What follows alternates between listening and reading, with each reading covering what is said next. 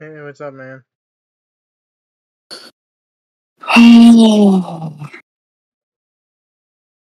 You alright? no. Um, I mean, yeah. I'm just a little tired. I'm running off the off of zero sleep, like none. Hmm. Well, that sucks, I- neither am I.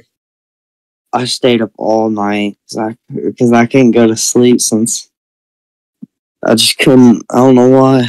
I laid there for about like three hours. I think I had After the I- same result.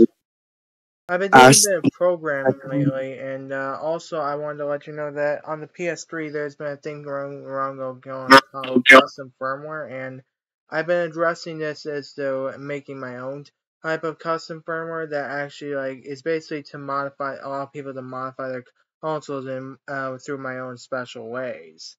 Now, of course, this also took a lot of coding and actually signing to get it to work, but it actually was a, not that difficult in the end. That's cool. Yeah. I mean, honestly, I feel like I'm kind of surprised that it even worked because a lot of times when I try like the later firmwares, it just would not actually work at all. And this time when I tried like 4.80, it actually kind of worked. Oh, that's cool. Hey, you want to play something on computer? Sure. Um, by the way, um, uh, I don't know if you have uh like Bonelab on um, on Quest thing on your PC, but like if you did, you probably be able to get it for free at this point because if you owned Bonelab on the Quest store officially, like staying natively, it probably most likely will be free in them indefinitely. Oh yeah, I don't. I used to on my old account, but I lost that account. Ah, I forgot about that.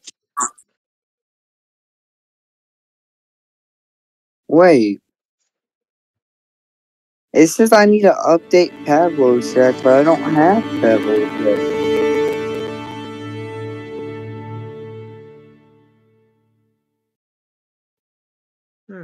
Oh yeah, because Pavlov Shack was actually no out of the beta, so you had to pay end up paying for it in the end of it, anyways. Which I Hmm. feel like is an absolute dumb decision on their part because when you had people in the beta, it was absolutely a free opportunity. Now it's they just decided to yoink it away. Yeah. It's like, oh yeah, here's a free game. Never mind, we're just gonna take it away from you.